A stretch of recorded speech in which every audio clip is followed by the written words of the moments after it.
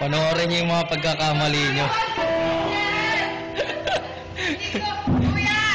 Ibang lakit to sa Facebook. Mamaya, makapanood niyo yung mga pagkakamali. Ah, i-delete mo yan. Makikita ni Kuya. Eh, ano Kuya Elmer? Kuya Elmer, ah, may sinasabi. Oh, Ah, upload na to. Stop na nga para